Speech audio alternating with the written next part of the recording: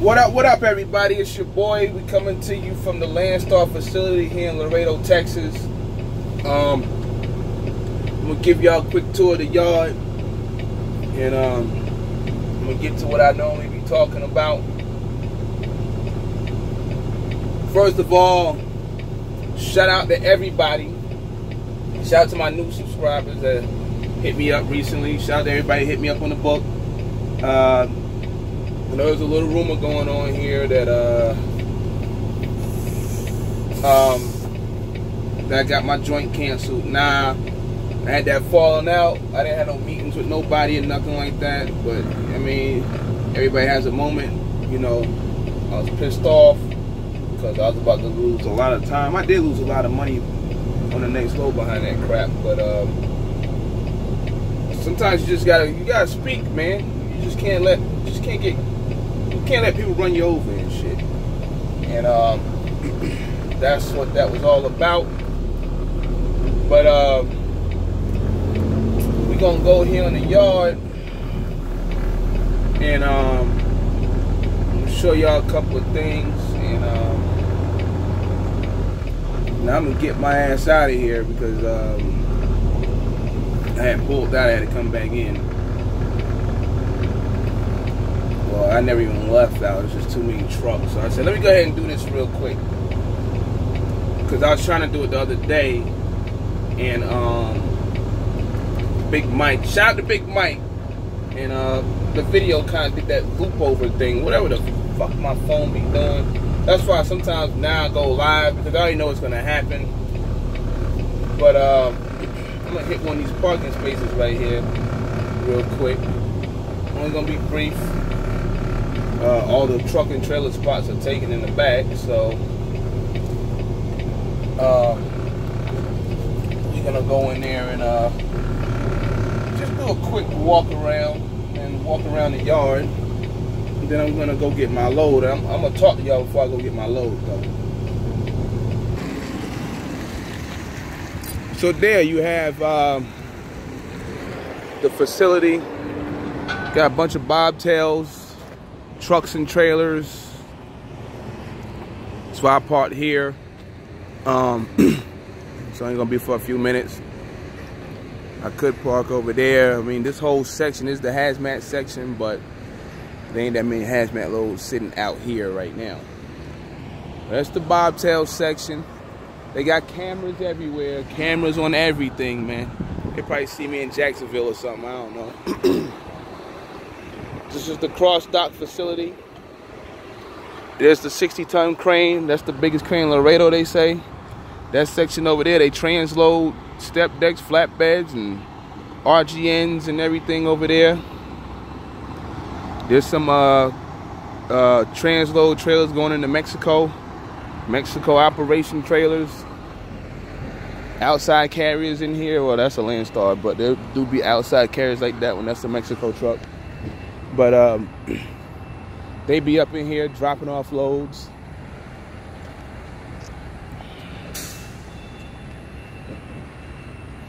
Somebody ain't throw out the trash yet or something. Damn. So the facility's been up a little over a year and a half. I think February makes two years. Excuse me. See if this is open. Uh, damn it, man. I don't want y'all seeing my code, man.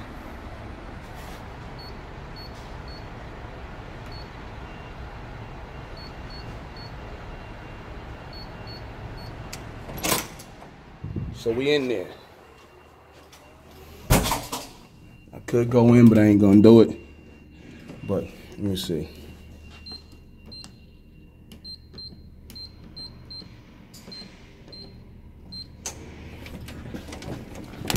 Oh, gotta pull. My bad. It's cross dock operations. While we at it, let's just go ahead and do it, because I ain't gonna be walking all the way around. What's up, man?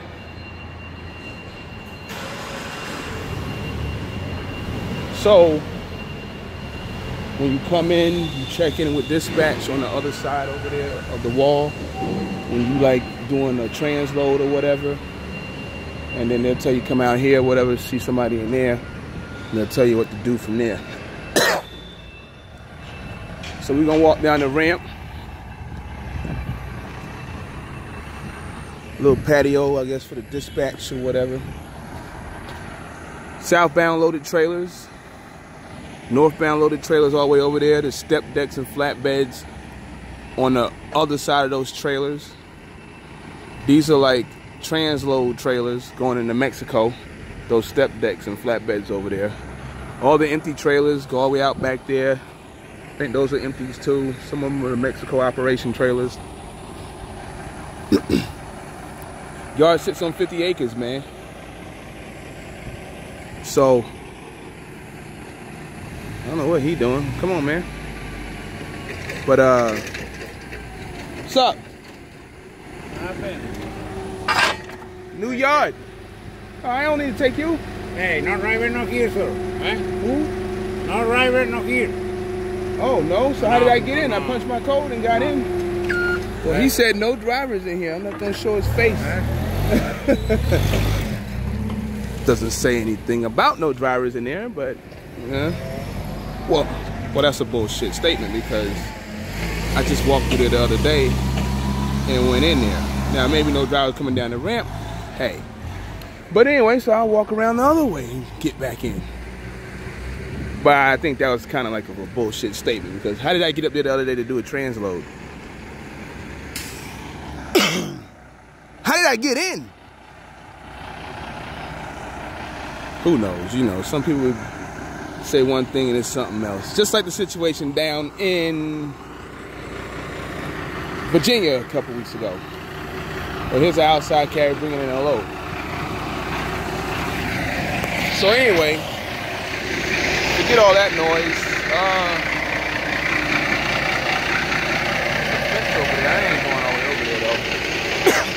That's fucked up that they got me walking all the way around this shit. I think he's just talking to be talking. Maybe somebody can correct me on the video. But how the hell did I get in? I came in that way the other day, or off of one of them docks. So no drivers can go up there. That's a lie because I just went in there. Now maybe he said no driver on the ramp. That's what he meant. And he just left out a couple of words. But uh, there's some, there's some, I think there's some false information going on right there. But anyway, we're gonna walk inside real quick. I'm gonna show y'all the uh, crane and all that. Southbound loaded. Some of these transload trailers. They got about four or five of those big forklifts. The 60 ton joint. Got a couple of drivers over there. There's a couple of super loads sitting in the background.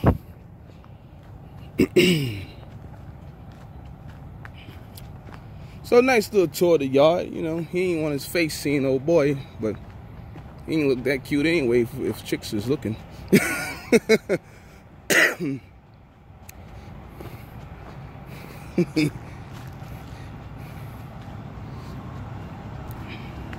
There's a super load of two over there. One of them left yesterday.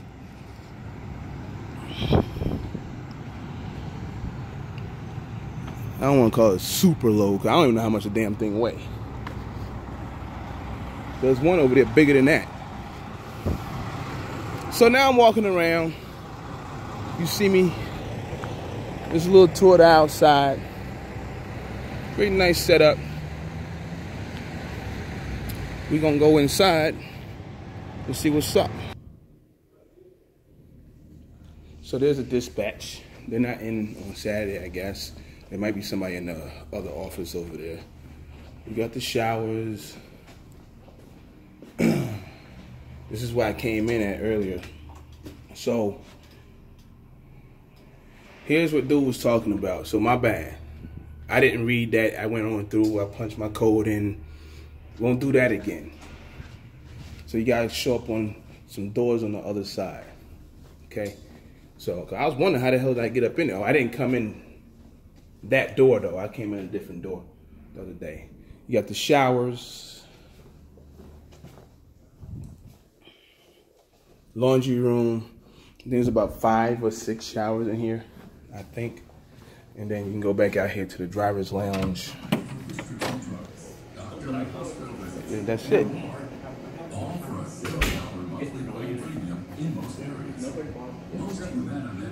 A few vending machines. And that's the yard for the most part. Nothing to go crazy about. It's sitting on 50 acres, but majority of it is covered up with trailers. And nothing to sit here, you know, because some drivers like the yard. They want to go to the yard. They want to live on the yard. They want to sit the yard for days. We ain't doing that. We trying to get in and out. There's a few trucks sitting over there. They live here and all that. And they probably in Mexico chilling. But we're not trying to do like the Swift hams and all them. They don't call you to the yard and keep you in the yard. If you come to the yard because you did something dumb and you got to do something, take a class or something, or um, you're doing a transload or something like that. Other than that, you ain't coming to the yard. Maybe the cabs class or something.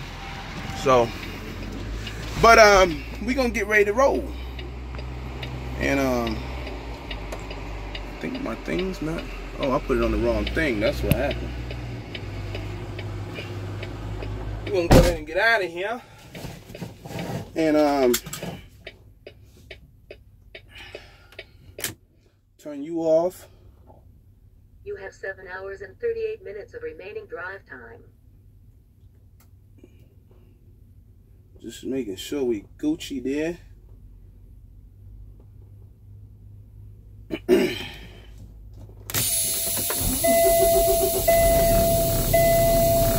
we out of here, man. But yo, let's get to talking about driving and all that. And this thing's got a big delay.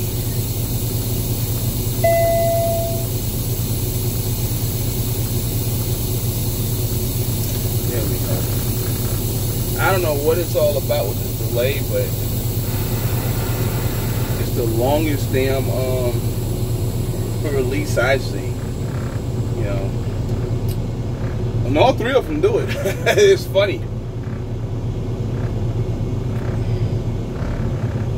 But anyway, um, we're gonna get to talking about driving and stuff like that. Got drivers reaching out to me off and on. Uh, about rates and stuff. And if I didn't say it, shout out to Big Mike, shout out to Dennis, shout out to uh, Tyrone, shout out to um, Eddie. Talked to them the other night. We were sitting in the yard. They rolled up on me, and uh, we was just talking. I mean, they seen from YouTube. Now, I want to say something about YouTube, man, real quick. Just how they rolled up on me at the yard.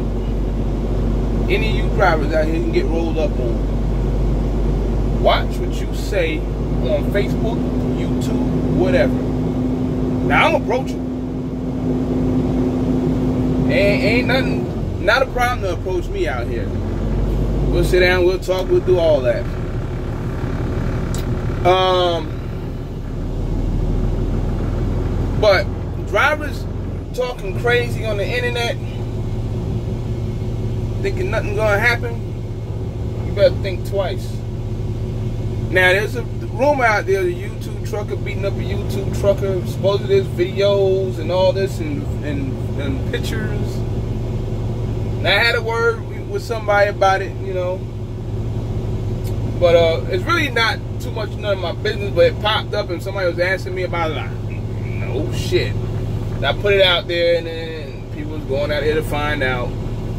It was supposed to be somebody else and somebody else, and it really turned into somebody else and somebody else. And um, y'all didn't seen the video. I don't need to say no damn names and shit. But even if it was and the video's true, I didn't see it. Just just for anybody. Watch what you're saying, man. Watch what you're saying out here. Um, because it could be bad for you. I mean, it could be real bad for you. That's why you see me. I roll solo most for the most part. I got my friends on Facebook, but I don't have no groups, no, you know, uh, big ass groups on Facebook or whatever. Because one person think they're better than the next person and all that shit, and then somebody don't like something and they start calling you out on certain shit or whatever. I already seen this before. Uh, but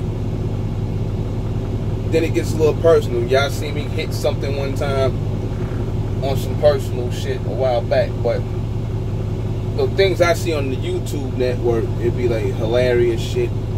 Motherfuckers mad because this one doing this and this one doing that. I mean, gotta cut it out. Gotta watch what you say and watch what you're doing. People know what you're riding in and shit out here or whatever. but anyway,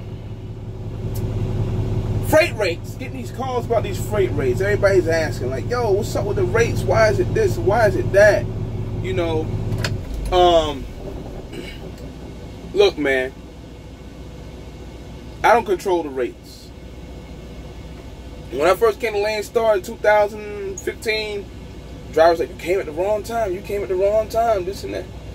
There's different drivers that's going to tell you you came at the wrong time. Now, some of them to tell you you came at the wrong time because, see, they live in a certain region and they just run like one or two states. And it's shit for them.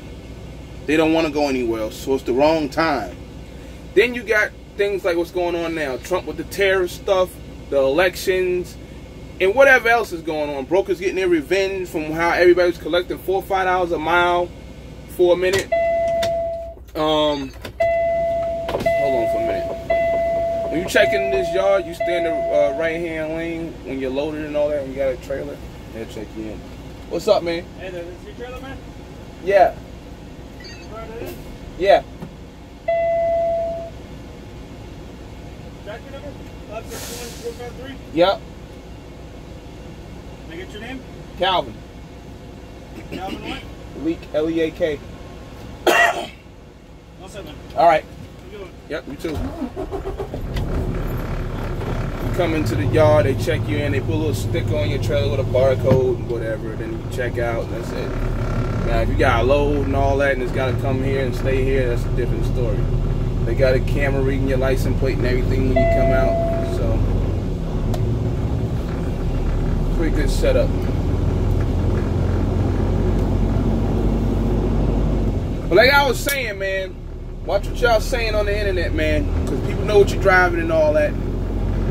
But back to the rates again. You got brokers getting their revenge because y'all getting four, five dollars a mile. Some of y'all on the internet flashing little checks, your little money and shit. You ain't seen that before, man. We've seen a little twenty-five hundred dollars before. Eighteen hundred dollars. We've seen that already. Ain't nothing to talk about. Ain't nothing new. Some people say that's motivation. More than motivation. But um, yeah, man, just brokers getting their revenge. And not all of them, but there are some that just ain't about shit. Agents. Oh, speaking of agents, I know what y'all did with your 424 thing, QXQ, whatever you want to call it, called y'all. Y'all think y'all funny. I know exactly what y'all did, but whatever. I mean, that's why I don't call them. For the most part. I called them to see what was up. Same practices. but, um, like I said, there's a variety of reasons why you come at the wrong time here or whatever. Because of what I just stated.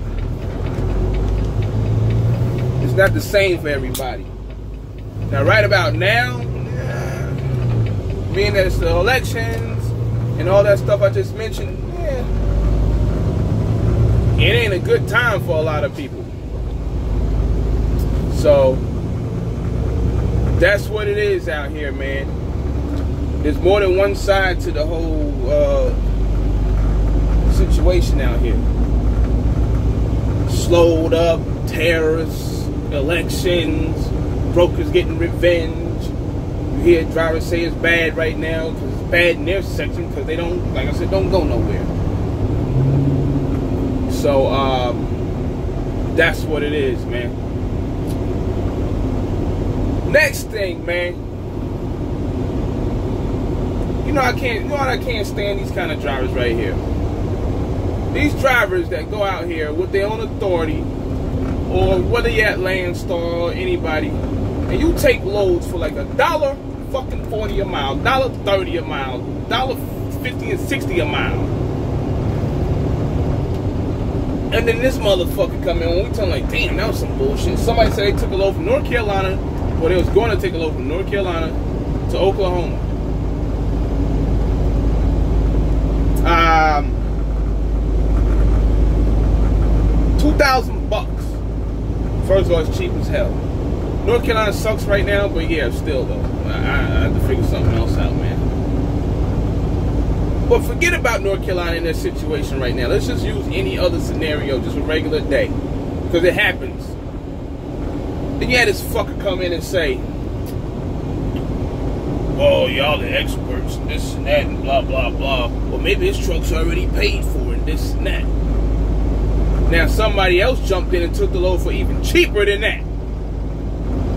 Look, man, I got a 2003 Freightliner. Ain't been on the road in a minute. It's got 1.5 million on it, and I didn't fucking. There was no need for me to even throw money at it or even rebuild it. But since I had it off the road and I wasn't interested in another driver at the time, I took it off the road. That truck been paid for since 2010. My money moves didn't change, man. People, I, I'm still going for uh 250 and up. Then, after I got the truck. I am not gonna sit and, and limit myself to a dollar fifty, and it has some bullshit ass excuse. And normally that person doesn't even say it. Sometimes they do. It's just that other random motherfucker that walks in and says, "Well, maybe this truck and stuff is paid for." Motherfucker, you setting the bar for everybody else now. When we just fought to do like three dollars or whatever and shit, here you come with your little fucking damn the Grinch that stole Christmas bullshit. Like, goddamn, you have any respect for yourself? Nah. I know people cut throats and, and get lower bids, but get the fuck out of here. I seen a load the other day, $1.80 to fucking Los Angeles. I said, eh, you bugging. $1.80 to Los Angeles? On a step deck? Who taking that? I don't care if it's Landstar. I don't care who you with. Who is taking that shit? 43,000 pounds, man. Guys are an embarrassment, man. The worst type. You go along with some of them agents and brokers I'm talking about. The worst kind.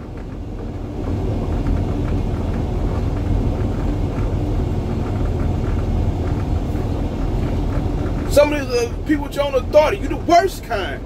Taking these stupid ass loads and then come back saying some shit like, well, Landstar got garbage freight. You took the garbage.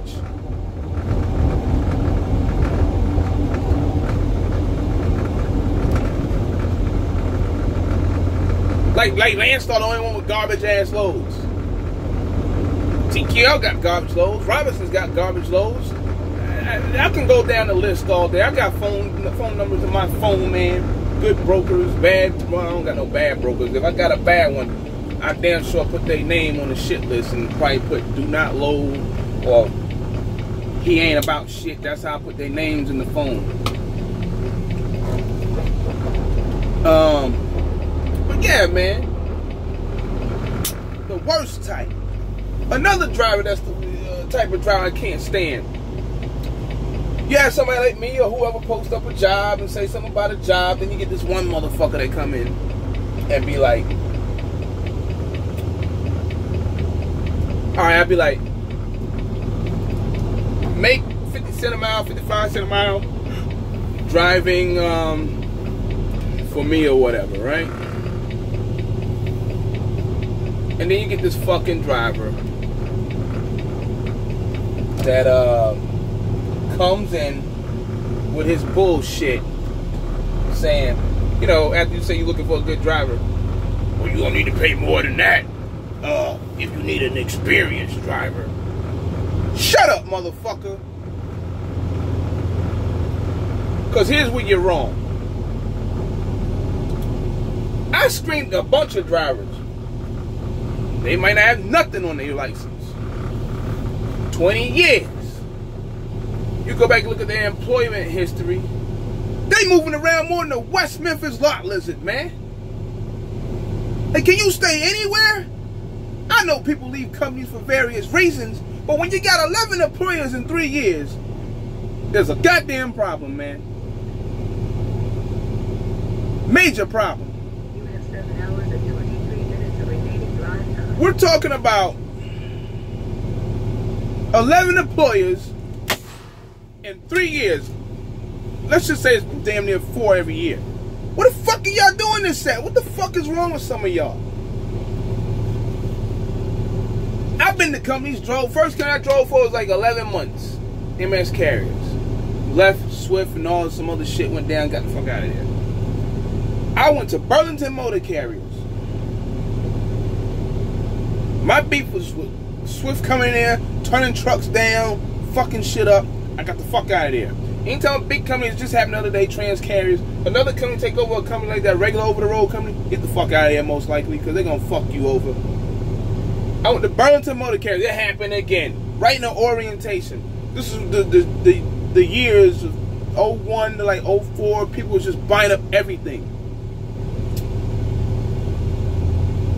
Uh, Celadon buys Burlington. I'm in the orientation, sitting around looking at these busted ass trucks. I'm like, damn, the fuck out of here! I got the fuck out of there. I went and drove team for Inman Trucking out of Leland, North Carolina.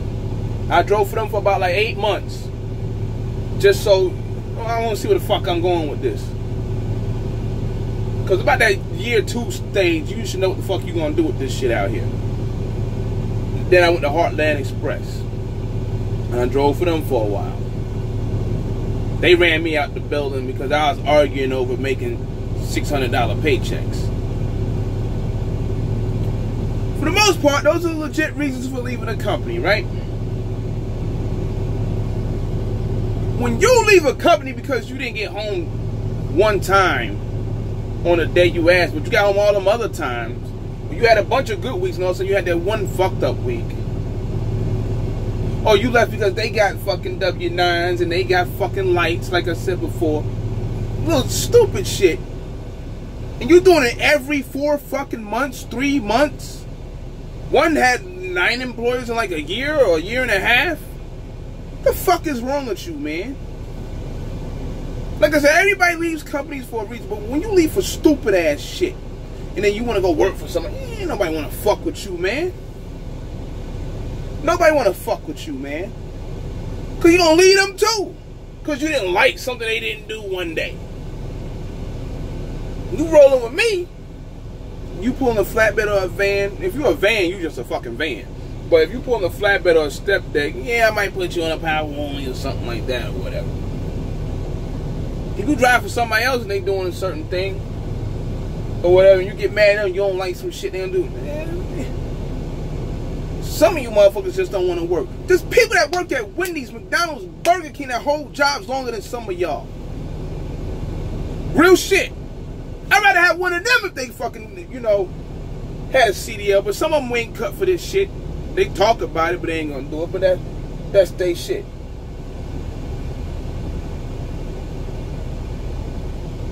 Wendy's, McDonald's, you mopping floors at Food Lion or wherever the fuck you at Pathmark, Piggly Wiggly. These motherfuckers on the job longer than some of you boys and girls driving fucking trucks, switching companies every 45 fucking seconds, man. I, I don't get it. I don't get it. Stupid ass reasons why y'all be leaving. You leaving for two more cents a mile, now you ain't getting the miles. You left because they got automatics. You ain't getting the miles. Or you don't even get home. It's always something. you're not gonna get everything in this motherfucker out here. So you gotta put up with some shit somewhere. But moving around like a West Memphis lot lizard, uh, that shit is unacceptable, man. For stupid ass reasons, fuck it, man.